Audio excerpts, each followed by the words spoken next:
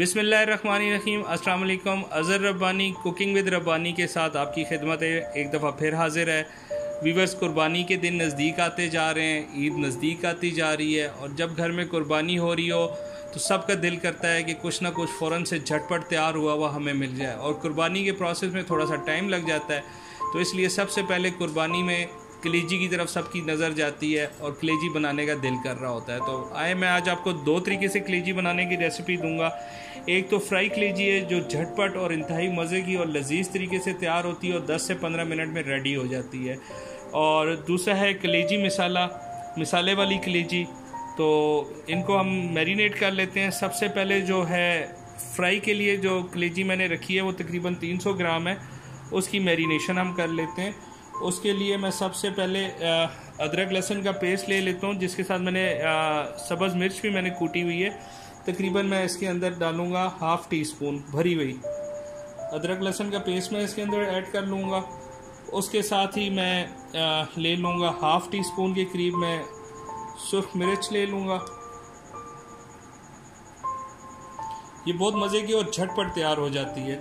और उसके साथ ही मैं हाफ़ टी स्पून मेरे पास कुटा हुआ धनिया पड़ा हुआ है।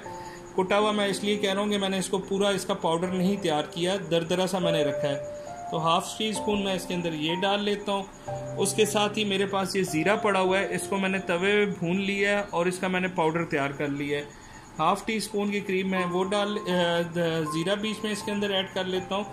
और तकरीबन आप ये कहने के दो चुटकी के करीब मैं इसके अंदर हल्दी डाल रहा हूँ। और उसके बाद दो ही चुटकी के करीब मैं इसके अंदर कुटी हुई लाल मिर्च डाल रहा हूँ। इससे इसका जायका भी बहुत अच्छा हो जाएगा और टेस्ट भी इसका बहुत अच्छा आएगा। और और एंड पे मैरिनेशन के लिए जो मैं फ्राई कलेजी बना रहा हूँ, उसके लिए मैं, जो फ्राई कलेजी है, उसके अंदर मैं वन टेबल स्पून सिरका भी ऐड कर रहा हूँ। और आपको मेरी वीडियो में दही पड़ा हुआ नज़र आ रहा होगा, लेकिन वो दही मैं फ़िलहाल इसके अंदर ऐड नहीं करूँगा, क्योंकि वो मिसाला कलेजी की मैरिनेशन में काम आएगा मुझे। और एक दो टिप्स मैं इसके साथ आपको देता जाऊँ साथ साथ मैं इसको मैरिनेट करने के लिए मिसाला भी लगाता हूँ। पहली टिप तो ये है कि कलेजी जब भी आप लें सॉरी कलेजी जब भी आप लें, आपकी कोशिश होनी चाहिए कि आपको पूरी कलेजी मिले। और उसको घर लेकर आएँ और उसको तीन से चार पानी में साफ़ कर लें। उस तरह उसका खून अच्छे तरीके से निकल जाता है। उसके बाद आप उसके पीसेस करें। पीसेस करके कभी भी आप कलेजी को धोएँ नहीं। और दूसरी टिप ये है कि किसी भी किस्म की आपने कलेजी बनानी हो कलेजी के अंदर नमक जो है, आपने जब कलेजी हाफ़ कुक हो जाए तो आपने तब डालना है। तो ये दो चीज़ों का आप ख्याल रखेंगे तो आपकी कलेजी कभी भी हार्ड नहीं होगी। अल्हम्दुलिल्लाह जी, जो मेरी फ्राई कलेजी के लिए जो मैंने कलेजी तैयार की थी मैरिनेशन के लिए, वो मैरिनेट हो गई है। और मैं इसको अब रूम टेम्परेचर के ऊपर 20 से 30 मिनट, यानी कि 20 मिनट या आधा घंटा मैं रूम टेम्परेचर पे इसको कवर करके मैं रख रहा हूँ। और इसी के साथ ही आए, चलते हैं हम अपनी सेकंड जो मिसाला कलेजी है, उसकी मैरिनेशन की तरफ़ हम लोग चलते हैं। तो चले आए मिसाला कलेजी की मैरिनेशन के लिए, चलते हैं। उसके लिए सबसे पहले मैं इसके अंदर अदरक लहसन और ग्रीन सब्ज़ मिर्च का जो पेस्ट मैंने बनाया हुआ था वो एक टेब, टेबल स्पून में ऐड कर रहा हूँ। एक टेबल स्पून में इसलिए ऐड कर रहा हूँ कि ये कलेजी क्वांटिटी में थोड़ी सी ज़्यादा है फ्राई कलेजी वाली से। और उसके साथ ही मैं हाफ़ टी स्पून जो है मैं सुरख मिर्च इसके अंदर ऐड करूँगा। और हाफ़ ही टी स्पून मैं इसके अंदर ऐड करूँगा धनिया कुटा हुआ जो दरदरा सा हुआ हुआ था वो। और और हाफ़ टी स्पून ही मैं साथ इसके अंदर ऐड करूँगा ज़ीरा, जो मैंने भून के, जिसका मैंने पाउडर बना लिया था। और एक से दो चुटकी जो है मैं इसके अंदर ऐड करूँगा कुटी हुई मिर्च जो मेरे पास पड़ी हुई है। और साथ दो एक चुटकी मैं जो है वो ऐड करूँगा अपनी हल्दी पाउडर और दो टेबल स्पून मैंने दही लेके रखा हुआ था। दो टेबल स्पून मैं इसके अंदर दही डाल रहा हूँ। और इसको मैं अच्छे तरीके से मिक्स कर लेता हूँ। इसको मैं अच्छे तरीके से मिक्स कर लेता हूँ और इसको भी मैरिनेट करने के लिए मैं 10 एक मिनट साइड पे रख दूँगा। बिस्मिल्लाहिर्रहमानिर्रहीम, मिसाला कलेजी के लिए जो मैरिनेट हुई हुई कलेजी हमने रखी है, उसको मैरिनेट हुए हुए 10 मिनट हो गए हैं। और चले हैं मिसाला कलेजी स्टार्ट करते हैं बनाना। मैंने कढ़ाई ले ली है। कढ़ाई के अंदर मैं तकरीबन हाफ़ कप में ऑयल डाल रहा हूँ। और इसके नीचे मैं चूल्हा ऑन कर लेता हूँ। और ऑयल गर्म होने का इंतज़ार करते हैं।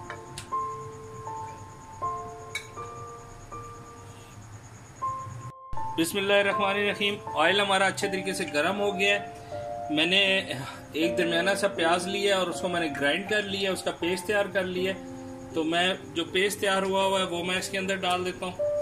बिस्मिल्लाहिर्रहमानिर्रहीम। और उसको अच्छे तरीके से मैं कर लेता हूँ। और इसको मैं थोड़ा सा कलर चेंज करूँगा। ज़्यादा मैं इसको ऑयल के साथ नहीं बनाऊँगा। थोड़ा सा जब इसका कलर चेंज हो जाएगा तो मैं फिर इसके अंदर अपनी जो मैरिनेट हुई कलेजी है, वो मैं इसके अंदर डाल दूँगा। व्यूअर्स प्याज हमारे जो है जो मैंने प्याज का पेस्ट बनाया था वो ऑयल के साथ आ, लाइट लाइट पिंक कलर इसका आ गया इससे ज़्यादा मैं इसको फ्राई नहीं करूँगा। और स्टेज पे जो मेरी मैरिनेट हुई हुई कलेजी पड़ी हुई थी वो मैं इसके अंदर ऐड कर दूँगा। बिस्मिल्लाहिर्रहमानिर्रहीम। और इसी के साथ मैं इसको थोड़ा सा इनके साथ पकाऊँगा और उसके बाद फिर मैं अपना टमाटर बीच में ऐड कर लूँगा। कलेजी मेरी जो मैरिनेट हुई हुई थी, जिसके अंदर मैंने दही और सारे मसाला जात वगैरह ऐड किए थे, वो मैंने प्याज वाला पेस्ट के साथ मैंने अच्छी तरीके से भून ली है। और इस स्टेज पर मैं जो अपना मैंने एक टमाटर लिया था, दरमियाने साइज़ का, उसका छिलका उतार के मैंने ये डाल रहा हूँ। और इसके साथ ही मैं जो है, इसके अंदर तीन से चार बूंद पानी जो मैरिनेट हुआ हुआ बाउल था, उसी से मैंने उसी के अंदर पानी डाल के, तीन से चार बूंद मैंने इसके अंदर पानी डाल ली है। और अब जो है मैं इसको जो है तकरीबन आठ मिनट के लिए इसको कवर कर दूँगा ताकि हमारे टमाटर और कलेजी अच्छे तरीके से गल जाए। बिस्मिल्लाहिर्रहमानिर्रहीम। वीवर्स मुझे दम दिए हुए तकरीबन आठ मिनट हो गए हैं। चले आए, इसका ढकना उठाते हैं। और टमाटर भी मेरे हिसाब में गल गए हैं, अच्छे तरीके से नरम हो गए हैं और कलेजी भी रेडी है। तो अभी हम इसको भून लेते हैं अच्छे तरीके से। और थोड़ी देर तक फिर मैं आपको इसमें नमक डाल के भी बताता हूँ, क्योंकि अभी तक मैंने आपको पहले बताया था कि नमक जब हाफ़ डन हो जाएगा तो उस टाइम डालेंगे तो आप चले देखते हैं। विवर्स स्टेज पर जो है, मैंने एक टीस्पून मैंने नमक ली है, और मैं नमक इसके अंदर ऐड कर रहा हूँ एक टीस्पून और इसको मैं अच्छे तरीके से भून लूँगा, और इसका पानी भी कुछ कर लूँगा। तो चलें भून के, और जब रेडी होती है तो मैं आपको बताता हूँ।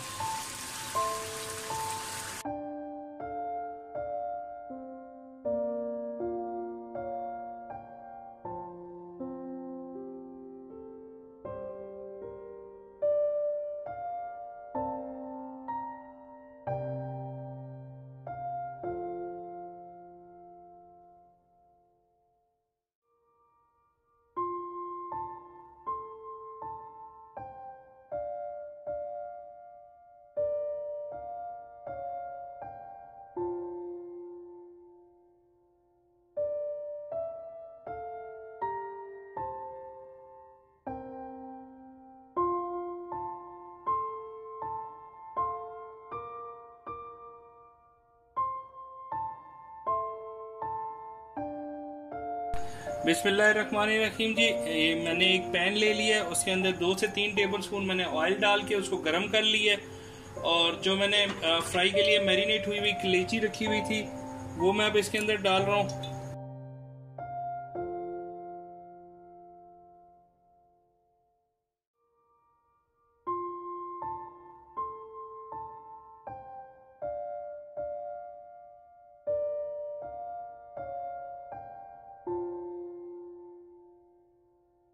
अब मैं इसको अच्छे तरीके से पैन के अंदर फ्राई कर लेता हूँ। बहुत क्विक रेसिपी है ये और बहुत जल्दी बनती है और बहुत मज़े की और लजीज बनती है।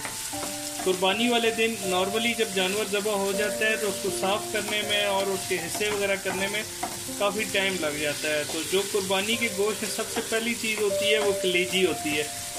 और वो तैयार करके फिर सारों को सर्व की जाती है। तो उसके लिए ये इंतहाई जल्दी बन जाएगी और आप लोग भी अपने मेहमानों के लिए अपने लिए सब के लिए इसको ट्राई लाजमी कीजिएगा। बहुत लजीज बनती है। तो चले अब इसको हम फ्राई करते हैं और फिर मैं मिलते हैं फ्राई होने के बाद।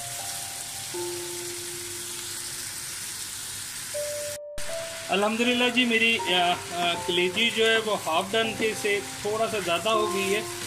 इस स्टेज पे जैसे कि मैंने आपको पहले बताया था कि जब हमारी कलेजी आधे से ज़्यादा कुक हो जाएगी तो फिर उसके बाद नमक ऐड करेंगे।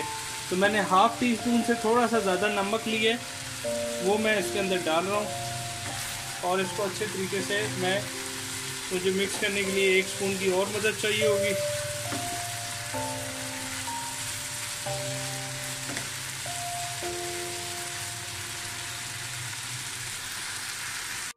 अल्हम्दुलिल्लाह जी, मेरी फ्राई कलेजी भी तैयार हो गई है। इसको मैंने आठ से दस मिनट के लिए फ्राई कर ली है।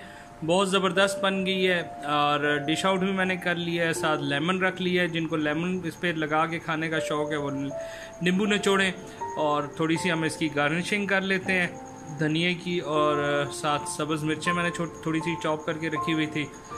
तो अब हमारी दोनों रेसिपीज़ तैयार हैं। एक मिसाला कलेजी और दूसरी जो मैंने पहले दिखाई है और ये वाली जो है फ्राई कलेजी मज़े ले लेके आप लोग खाना, कुर्बानी वाले दिन। और मेहमानों को भी खिलाना, ख़ुद भी खाना, हम भी लाजमी ट्राई करेंगे कुर्बानी वाले दिन दोबारा से इसको। तो जिनको मेरी ये वीडियो जिन दोस्तों को, भाइयों को, बहनों को पसंद आई हो, वो प्लीज़ मेरे चैनल को सब्सक्राइब करें। ये आप लोगों का हमारे लिए प्यार होता है। और मेरी वीडियोस को देखें, मेरी वीडियोस को लाइक करें। और मेरी रेसिपीज़ के बारे में कमेंट बॉक्स में मुझे कमेंट करके ज़रूर बताएँ कि आपको मेरी रेसिपीज़ कैसी लग रही हैं। तो आखिर में इजाज़त चाहता हूँ। अज़र रब्बानी को इजाज़त दीजिए। अल्लाह हाफिज़।